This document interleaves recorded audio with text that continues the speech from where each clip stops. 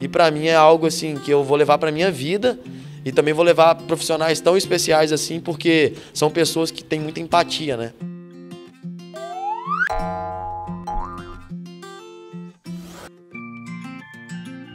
A tutoria da matemática é um projeto que visa auxiliar os alunos com dificuldade né, a atendê-los de forma a mostrar a forma correta de trabalhar, de estudar a matemática, né, para eles superarem suas dificuldades. Né. No início do projeto, a gente encaminha ao professor tutores né, uma seleção de alunos com dificuldades e que no primeiro semestre não conseguiram atingir a nota. Né?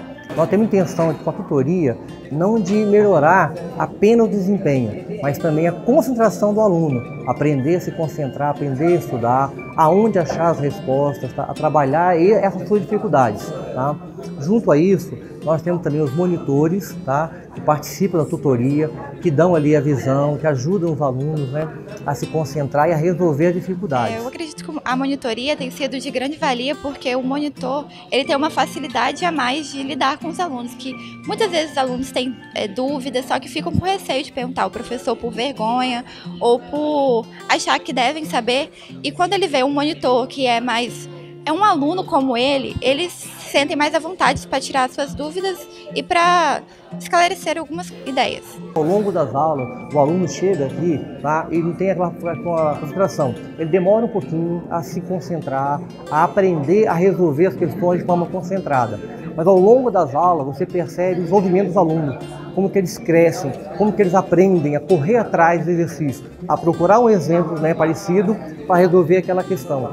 Como que eles conseguem estar superando as dificuldades e aprender a estudar, aprender a correr atrás da resolução. Queria dizer para todos os alunos que vão entrar agora no curso que eles é, vão à tutoria, porque vai ajudar eles a melhorar, tendo uma maior atenção do professor e do monitor, do tutor, e assim tirar proveito de uma, da maior, melhor forma possível do, do nosso instituto.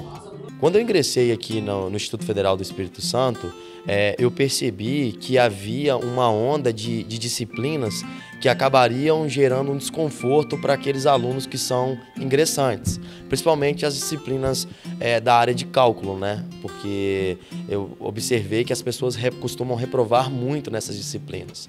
Os professores aqui do, do campus, principalmente das matérias iniciais do ciclo básico da engenharia, eles davam a tutoria e além disso também tinham o apoio de monitores para estar tá desenvolvendo, é, vamos dizer assim, uma otimização do trabalho e um aprimoramento no conhecimento dos alunos. Então eu vi que é como se fosse um alicerce a mais, é como se você estivesse injetando no conhecimento das pessoas um alicerce, vamos dizer assim, central. Então aquilo que talvez não ficou de maneira sólida em sala de aula, como, quando você tem um atendimento mais específico, isso vai ajudar o aluno a aprimorar o conhecimento, né? Formas mais é, comuns que, que, nós observamos que as pessoas encaram as disciplinas, as formas mais comuns de se estudar, é que as pessoas tentam decorar a fórmula, tentam é, é, encarar o conteúdo de forma instantânea, de forma momentânea, para poder passar na, na, nas provas, para poder passar na disciplina. Eles vão na necessidade, mas acabam se esquecendo do que, que eles vão precisar daqui a um tempo. Ou seja, precisam aprender aquela, aquela disciplina de fato, porque aquilo vai ser utilizado no futuro, vai fazer falta lá na frente. E se você encarar de certa forma é, é a simplesmente decorar a fórmula, simplesmente decorar o conteúdo para fazer a prova e passar naquele momento, isso não vai te ajudar lá na frente. Te ajuda agora, mas não vai te ajudar lá na frente. Faz muita falta.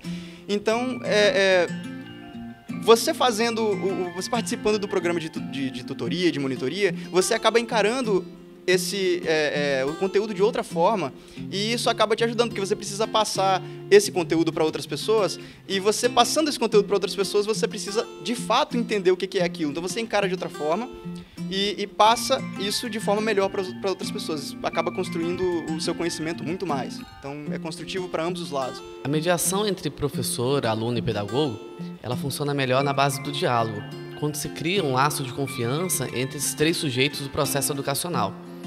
Muitas vezes, é, quando você tem um autoritarismo exagerado, o aluno ele cria uma resistência com o professor ou com o pedagogo e acaba intimidando um pouco ele a aprender e ele a buscar.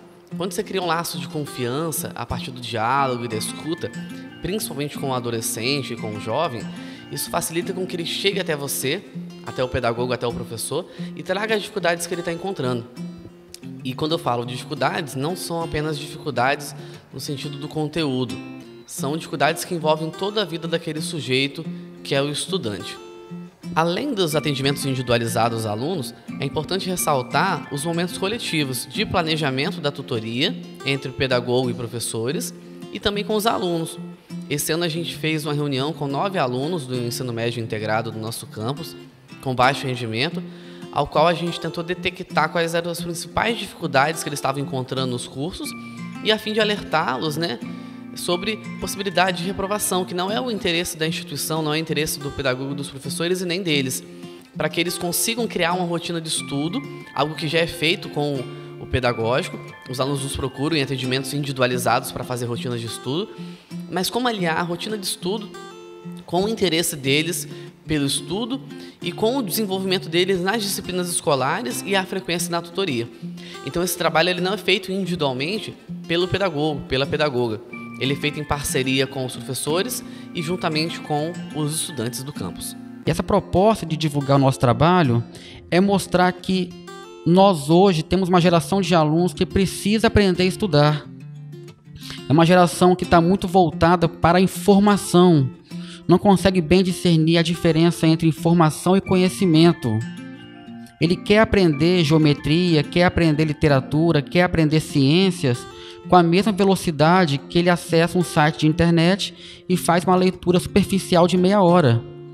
Então o projeto é isso, olha, você vai sentar aqui, vai estudar duas horas com um colega seu, com dois colegas seus, comigo, professor, com um monitor voluntário, e nós vamos observar você a estudar.